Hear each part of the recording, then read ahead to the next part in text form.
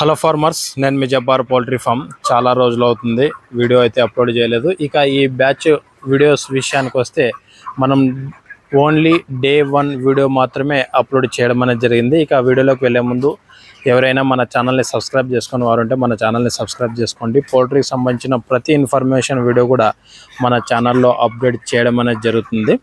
ఇక ఈ బ్యాచ్ విషయానికి వస్తే మనకి ఈ బ్యాచ్ యంగ్ ఫ్లాక్ అనేది రావడం అది జరిగింది. యంగ్ ఫ్లాక్ వచ్చి మనకి thirty seven thirty eight grams average body weight అయితే వచ్చాయి మన ఫామ్ డెలివరీ ఇక దాని తర్వాత ఫస్ట్ వీక్లో సెకండ్ వీక్లో థర్డ్ వీక్లో ఈ చిక్స్ చాలా ఇబ్బంది పెట్టేశాయి. ఒక పక్క ఫీడ్ ఇంటెక్ లేదు ఒక పక్క వాటర్ ఇంటెక్ లేదు.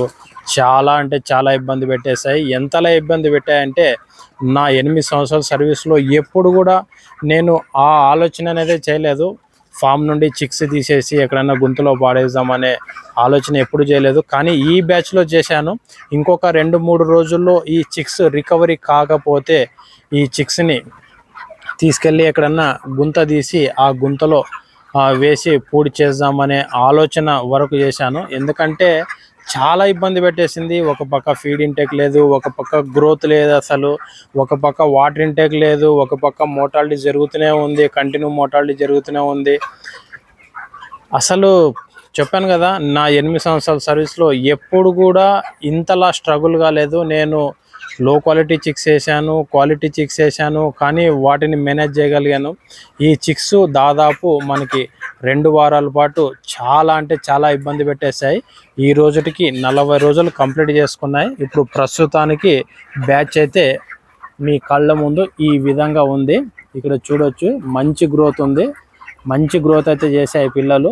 కానీ నాతో పాటు వేసిన వాళ్ళు చాలా అంటే చాలా ఇబ్బంది పడ్డారు చిక్స్కి. మనం ఎలాగోలాగా మనకు ఉన్న ఇన్ఫర్మేషన్ కావచ్చు మన దగ్గర ఉన్న డాక్టర్స్ని కావచ్చు వారి దగ్గర ఇన్ఫర్మేషన్ తీసుకొని మన దగ్గర ఉన్న ఇన్ఫర్మేషన్తో మనం బడ్స్ని రికవరీ చేసుకొని ఈరోజు నలభై రోజులకు గాను బడ్స్ని ఈ విధంగా యావరేజ్ బాడీ వెయిట్ అయితే తీసుకురావడం అది జరిగింది.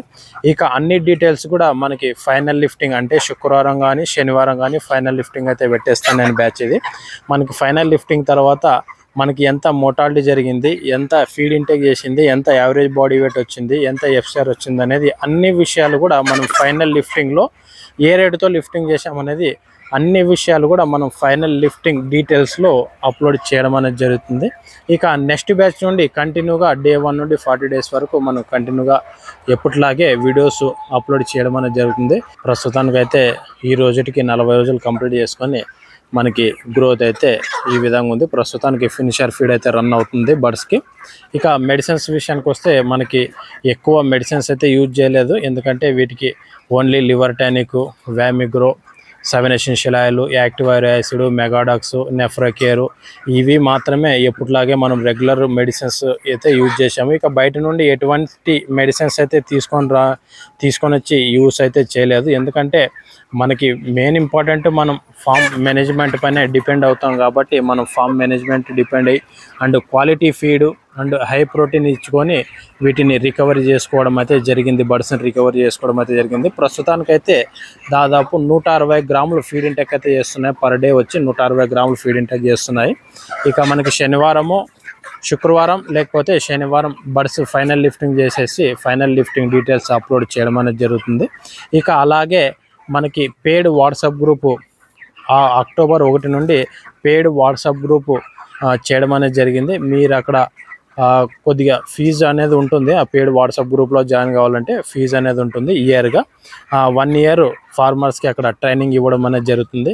ఏ టైంలో ఎటువంటి మెడిసిన్స్ యూజ్ చేయాలి ఏ టైంలో ఎటువంటి మేనేజ్మెంట్ చేసుకోవాలి ఫీడ్ ఎలా తయారు చేసుకోవాలి వాటిని ప్రోటీన్ ఎలా బ్యాలెన్స్ చేసుకోవాలి ఎనర్జీని ఎలా బ్యాలెన్స్ చేసుకోవాలి అనేది అన్ని విషయాలు కూడా పేడ్ వాట్సాప్ గ్రూప్లో ఇన్ఫర్మేషన్ షేర్ చేయడం అనేది జరుగుతుంది. అక్కడ సీనియర్ డాక్టర్స్ కూడా ఉంటారు. ఆ గ్రూప్లో సీనియర్ డాక్టర్స్ కూడా ఉంటారు.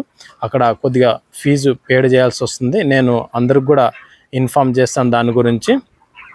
ప్రస్తుతానికైతే బ్యాచ్ ఈ విధంగా ఉంది. ఇక ఈ బ్యాచ్ తీసేసి వెంటనే ఈ బ్యాచ్ తీసేసి ఈ బ్యాచ్కి సంబంధించిన డీటెయిల్స్ కూడా అన్నీ కూడా అప్లోడ్ చేయడం అనేది జరుగుతుంది. Okay thank you for watching farmers. నేను మీ జబ్బారు పౌల్ట్రీ ఫామ్.